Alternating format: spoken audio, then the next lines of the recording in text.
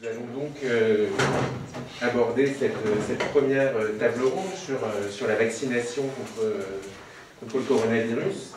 Euh, je vais commencer par, euh, par quelques éléments de cadrage, mais très rapides, puis ensuite euh, je donnerai la parole à nos, à nos trois intervenants. Le point de départ, c'est évidemment que, euh, et Emmanuel Hirsch l'a rappelé, ainsi que- ainsi qu'Alexia Jolivet, plusieurs études démontrent que euh, la crise du coronavirus participe euh, d'un accroissement des inégalités sociales de santé, aussi bien les effets du virus lui-même euh, en sont responsables que les effets des mesures de confinement prises pour euh, combattre ce, ce virus. Euh, les mécanismes de cet accroissement ont été euh, documentés par euh, des enquêtes. Euh, il a été montré que les territoires les plus touchés sont euh, les territoires les plus pauvres. Euh, je citerai aussi, euh, en dehors d'une- de cette euh, enquête de, l'Agence régionale de santé qui avait été faite en 2020 euh, et dont sans doute Luc Gino par- parlera, l'enquête EPICOV qui a montré à quel point donc, le, le Covid avait contribué à accroître les vulnérabilités professionnelles, les vulnérabilités familiales, les vulnérabilités physiques.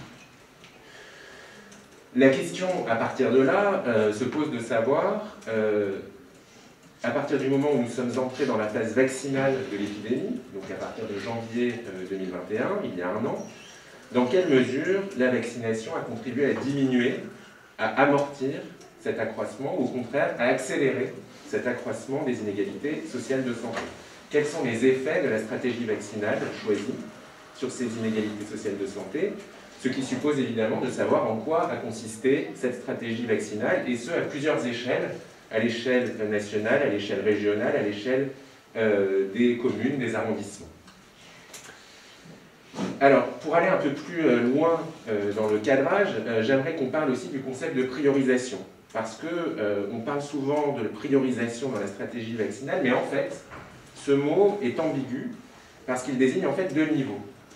Au premier niveau, il y a la question du choix des populations priorisées à qui on propose donc euh, une dose de vaccin en premier. Euh, c'est ce dont a parlé Emmanuel. En France, ce sont les populations, euh, Emmanuel Hirsch, les populations les plus vulnérables physiquement qui ont été priorisées, c'est-à-dire celles qui ont le plus de chances de développer une forme grave de la maladie, et c'est pourquoi les résidents des EHPAD et des unités de soins de longue durée ont été considérés comme prioritaires. Mais il y a un autre niveau de priorisation, on pourrait l'appeler priorisation secondaire, qui consiste à prioriser parmi les publics prioritaires celles et ceux qui, parce qu'ils sont plus vulnérables, donc dans une population, celles et ceux vers qui il faut se tourner en priorité pour compenser leurs désavantages dans l'accès à la vaccination. En, effet, dans chaque population priorisée se rejoue en fait euh, la question de la priorisation dans la mesure où, en fonction des conditions d'existence, certaines personnes sont désavantagées. Alors, évidemment, à ces deux niveaux se jouent des inégalités sociales, et j'aimerais qu'on parle de ces deux niveaux.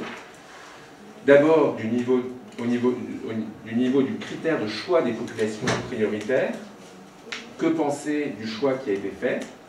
D'autres critères auraient-ils pu être choisis? Première question.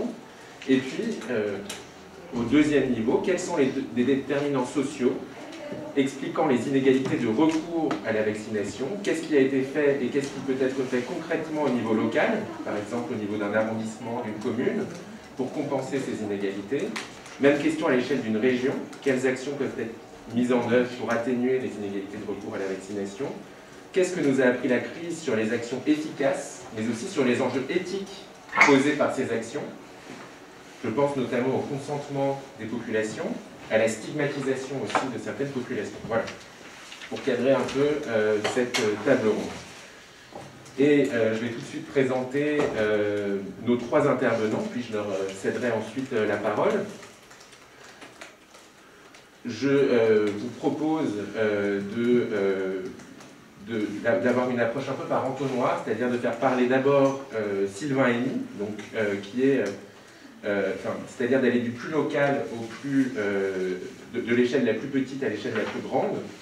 Donc Sylvain Henny est médecin généraliste, euh, président de la, commu- de la communauté professionnelle territoriale de santé du 14e arrondissement de Paris. Et cette CPTS a mis en œuvre des actions de priorisation dans l'accès aux centres de vaccination de populations qui en étaient le plus éloignées. Donc Sylvain Émy précisera ceci. Ensuite, nous écouterons au niveau de la région Luc Ginot, qui est médecin de santé publique, directeur de la santé publique à l'Agence régionale de santé d'Île-de-France depuis trois ans, qui a pendant 25 ans travaillé en santé publique euh, à Aubervilliers, euh, puis euh, à la division départementale 93 de l'Agence régionale de santé.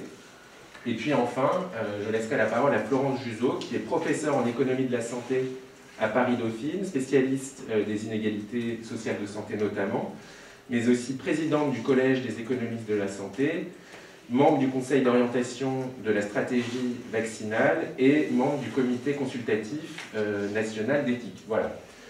Donc Sylvain et euh, je vous laisse euh, en premier la parole. Peut-être que vous pouvez